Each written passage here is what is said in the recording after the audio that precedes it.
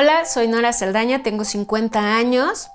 Eh, estudié licenciada en comunicación. Por azares del destino me especialicé en el periodismo médico y padezco osteoporosis, una enfermedad de la que mucho había escrito, de la que mucho había hablado, pero que no pensé que la fuera a padecer yo, pero que a partir de que la padezco también logro entender a muchos de los pacientes que viven con esta enfermedad y que a veces nos cuesta tanto trabajo entenderla, pero sobre todo aceptarla.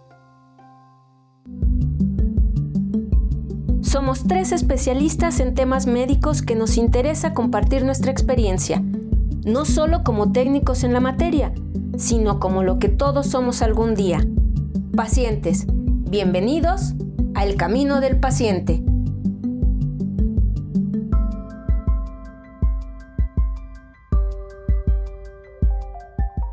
Existen 200 millones de personas en el mundo que padecen osteoporosis las mujeres son más vulnerables, sobre todo las posmenopáusicas y mayores de 50 años, aunque los hombres también pueden padecerla.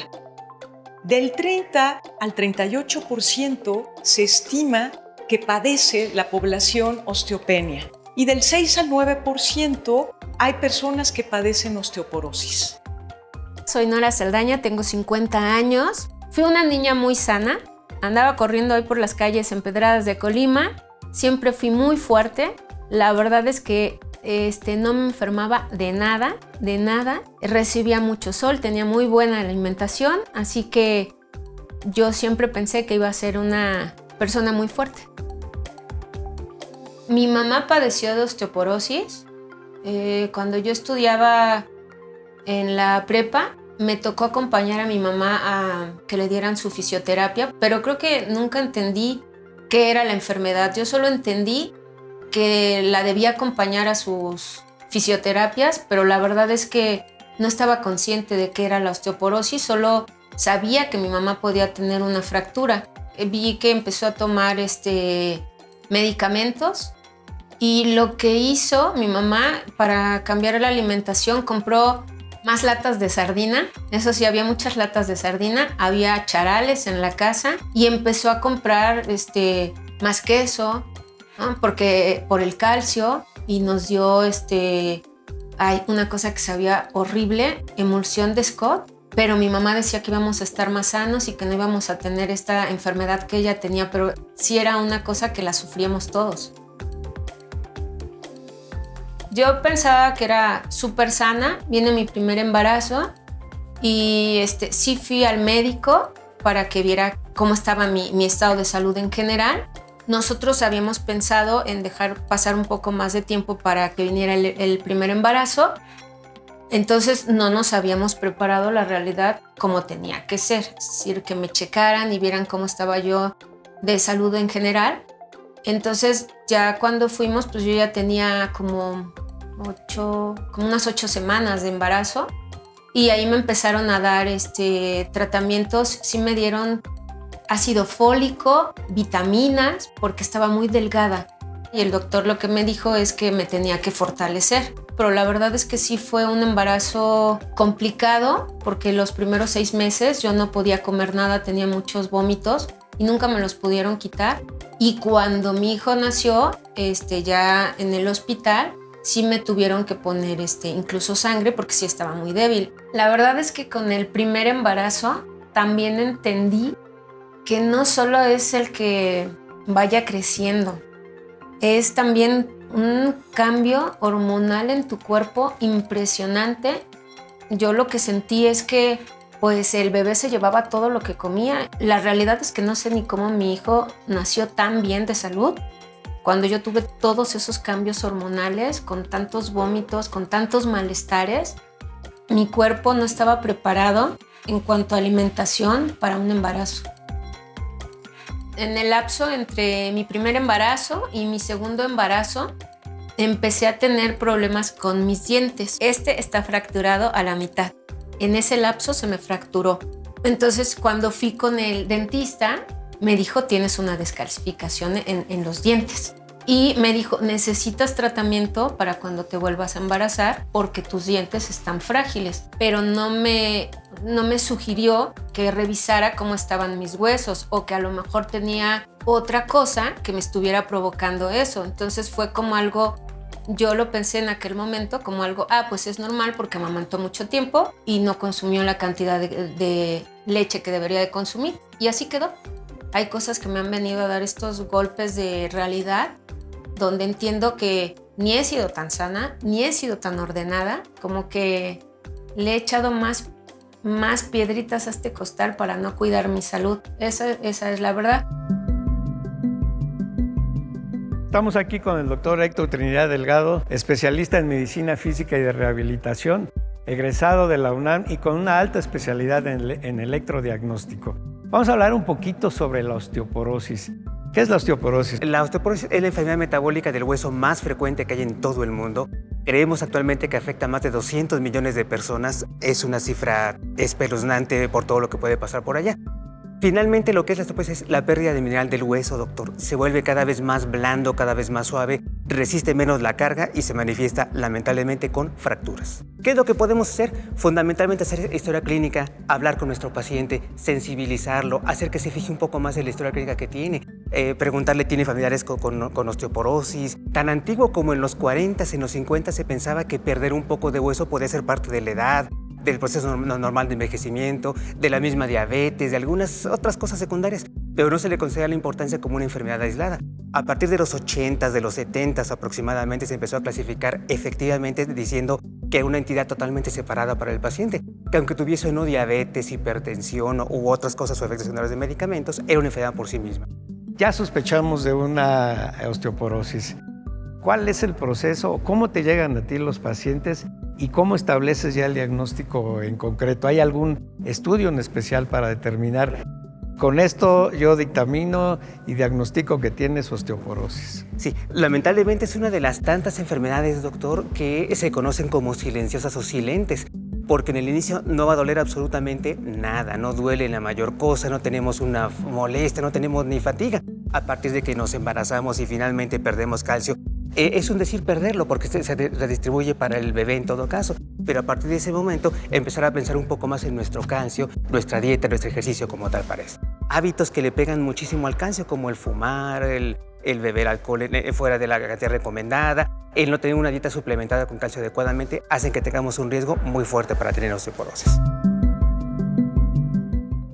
Lo que más me ha afectado a mí, esta enfermedad, quizás ha sido mis dientes, porque es, eh, en estos lapsos lo que he tenido malestar son con mis dientes y pues este tipo de fracturas.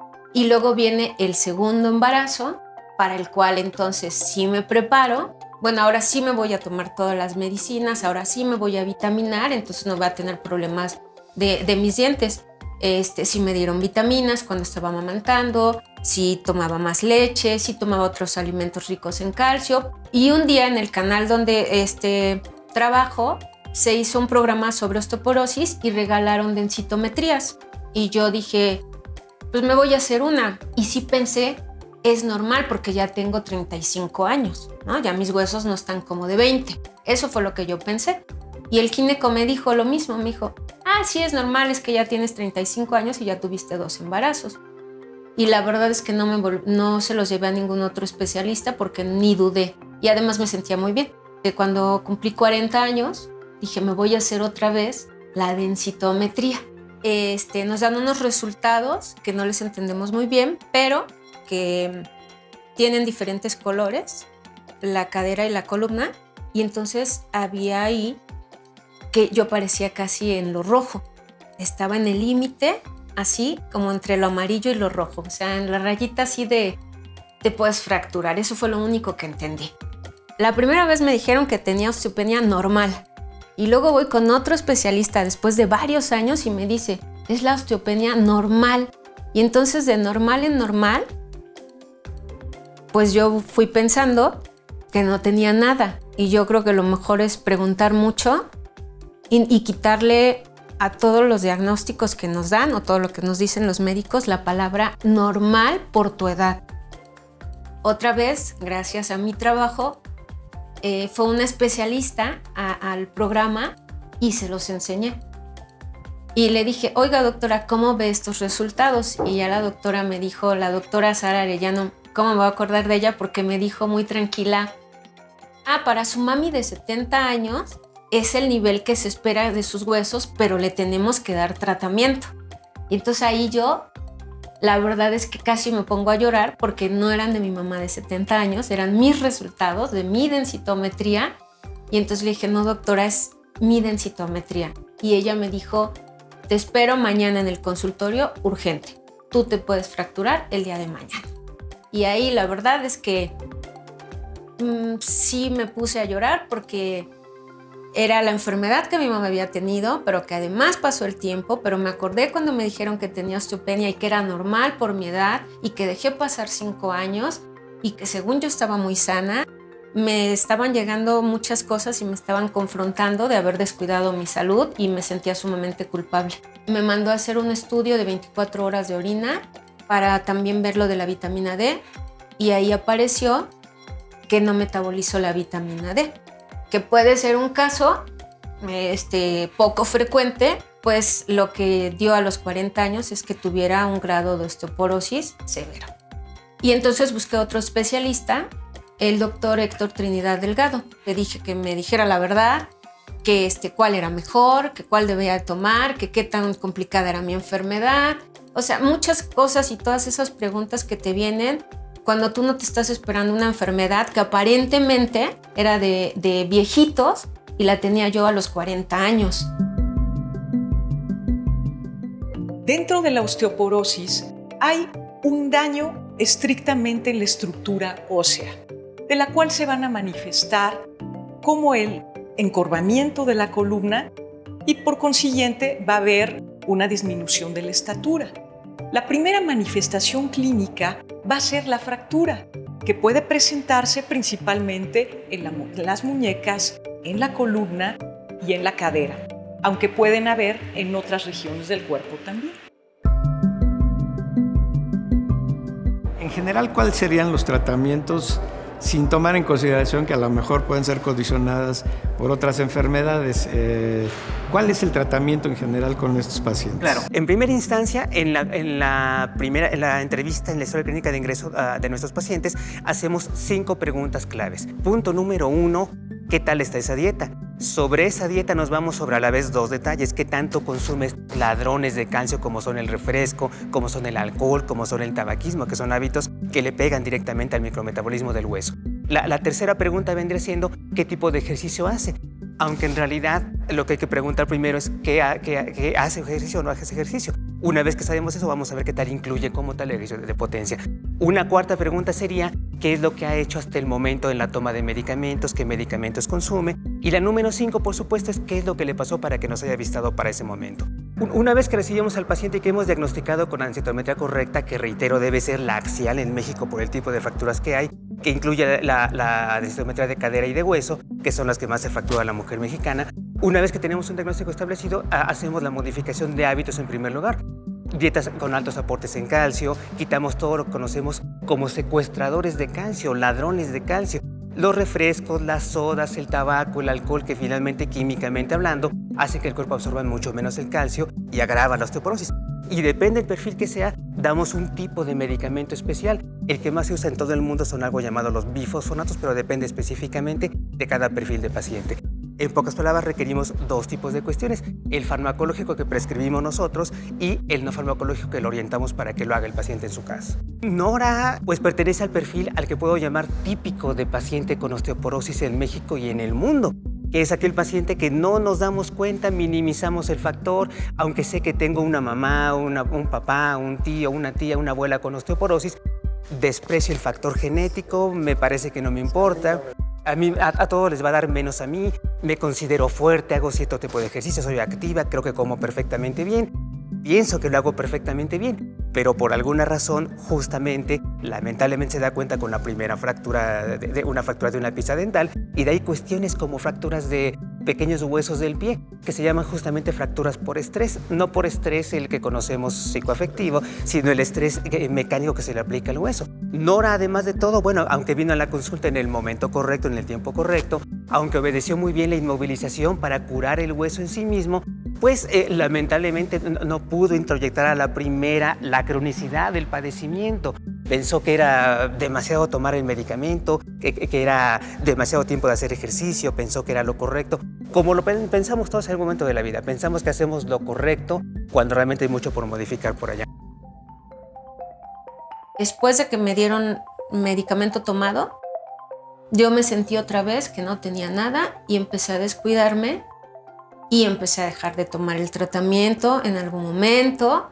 Lo que sí sabía es que osteoporosis puede ser igual a una fractura. Y entonces lo que yo no quería era que me, o sea, una fractura y además que sí se veía en lo rojo. Y también pues ha sido complicado el hecho de que a veces no quiera hacer caso a las recomendaciones, a los medicamentos, por el hecho de saber que si no se cuida, si no tiene los eh, pues todas las precauciones necesarias, puede tener una fractura como ya ha tenido, pero fracturas graves que le impidan el hacer su día a día normal. Y me dejé de creer la que estaba siempre sana y que no tenía que hacer nada para invertir en mi salud, pero la verdad es que sí me descuidé mucho en una época. No sé si en esa etapa de mi vida estaba como muy resistente a aceptar que seguía enferma, como me cansé de estar tomando medicamentos, porque a mí no me está haciendo como el mismo efecto que a mi mamá, porque yo ya llevo tanto tiempo y, y, yo no veo mejoría y en cuanto lo dejo de tomar me pongo peor, pero además como bien y no sirve de nada y hago ejercicio y no sirve de nada. Y entonces empecé a, pues no sé, una, yo le digo una parte de rebeldía, pero pues rebeldía que me estaba afectando. Creo que soy sumamente rebelde o soy una muy mala paciente o que creo que a lo mejor todavía no entiendo lo que significa mi enfermedad porque tengo estos altibajos de dejo de tomar los medicamentos. El precio de mi mentira fue pues que estuviera otra vez en la zona roja, tanto de columna como de cadera. Entonces era sin medicamento, pero además sin comer bien. Entonces nada más le iba sumando para no estar sana, esa sana que me creí de toda la vida y la verdad es que no es una realidad. Como que toqué fondo y entendí que debía de seguir un tratamiento. De lesiones por la enfermedad he tenido dos fracturas en el pie izquierdo, este, uno en la planta del pie, que incluso me lleva a utilizar este, plantillas. De unos años para acá tengo como un dolor constante en la cadera, que luego lo relaciono con lo postural, aunque sí sé que el riesgo de fractura pues está latente no puedo cargar cosas tan pesadas, no puedo tener movimientos tan bruscos. El médico nos ha dicho que debemos apoyarla, estar ahí en todo momento para lo que necesite, el no dejar que eh, cargue cosas pesadas, que no haga ciertos movimientos. Pues de repente la verdad es que sí cargo cosas pesadas y sí hago movimientos fuertes, tengo que ir aceptando que sí debo hacer ciertos cambios que tienen que ver más con mi autocuidado. En el caso de Nora específicamente, ella tiene antecedentes en su familia. ¿Qué recomendaciones le podríamos dar a ella, ya sea a la mamá, a las hermanas o según el caso? Claro, en primera instancia que no se eh, desapeguen del protocolo de la ruta crítica que comentábamos yendo al control que tienen que tomar. Habrá eh, casos para que tienen que hacer densitometría una vez al año, habrá casos de un poco mayor urgencia, mayor riesgo eh, por el perfil clínico del paciente que tiene que ser cada seis meses. Sin embargo, siempre será bueno extender a toda la familia genética que comparte justamente un gen que favorece la osteoporosis, llámese sobrinas, tías, primas, etcétera, que hagan anualmente al menos la densitometría. Es lo correcto y lo preventivo. En este momento parte de mi tratamiento con este que es inyectado es por seis meses durante dos años.